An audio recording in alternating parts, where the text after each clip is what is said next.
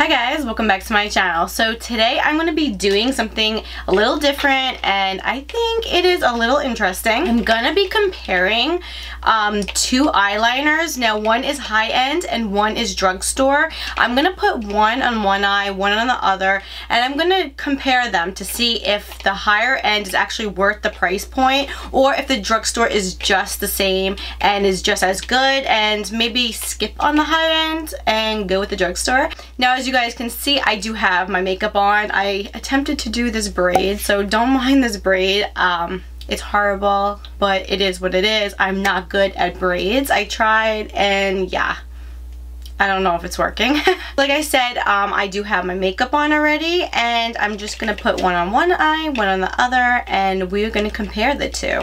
So if you do want to see if it's worth buying the high end or just stick with the drugstore, then just keep watching. Uh, the ones that I do have are the So Intense Eyeliner in Deep Black by Sisley and I also have the Maybelline Master Precise Liquid Liner. So this actually retails for $70. Yes, yes you heard me right, $70. And this retails for, I believe it's around $8 or so. I'm to link it down below for you guys or put it somewhere here on the screen.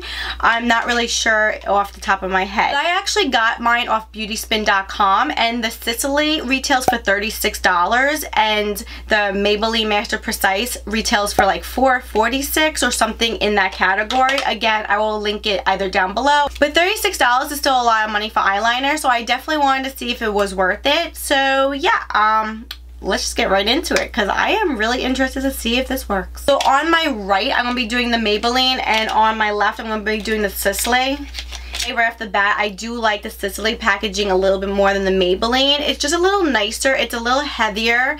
And you could just tell right off the bat it is a little more money. Now, is it worth the $70? I don't know. That's what's inside the packaging and that's why we're going to be doing the comparison. They are both felt tips. The Sisley one is a little thicker, smaller, and it has a point, but it's not as pointy as the Maybelline. Now, the Maybelline, you could tell, is a little longer. It's a little pointier, but it's also a little thinner. I'm going to go into the Maybelline first. Like I said, it's going to be on my right side. Let me see if I can bring you guys in a little closer. Okay. So I'm going to just outline my eyes. I'm going to see if I can wing it out a little bit.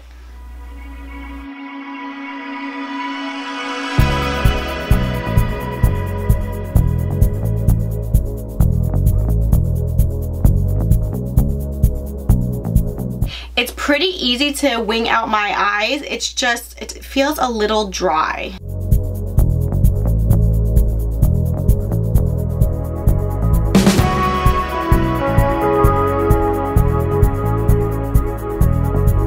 May have went a little crazy in that corner.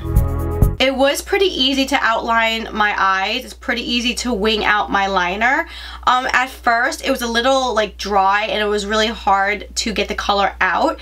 But after the color did come out, it's pretty black and honestly, it looks really good. It's really nice. I like it. So I'm going to let it dry, see how it works out. Um, I did go a little crazy in the corner and it did bleed out just a little bit. But that's okay because it happens. Um, we could always go back later on and fix that. So now we're going to try the really expensive one on on the left side.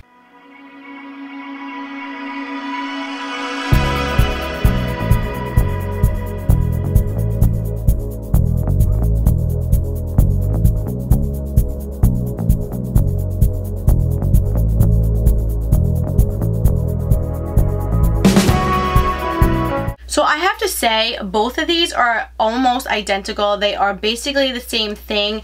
I know the Sisley retails for like $70, but you could get it at Beauty Spin for $36. Is it worth the $70? I personally don't feel like it is. Is it worth the $36? I would definitely pick it up for $36.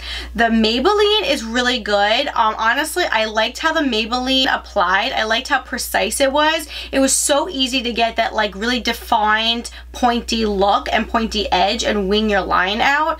Um, the only thing is at the beginning when I first applied it, it was a little hard to get the color out, but once the color came out, it was really easy to apply. It didn't seem to bleed out too much. The only part where it did bleed out a little bit was like in the corner of my eye. It's pointier than the Sisley one. It also is a little stiffer, so I feel like it was a lot easier to get in there and get that like really precise, even um, look and that really thin line compared to the Sisley one where the tip is a little um, more flexible. It's not as stiff as the Maybelline one. It also is not as pointy and it's also a little thicker.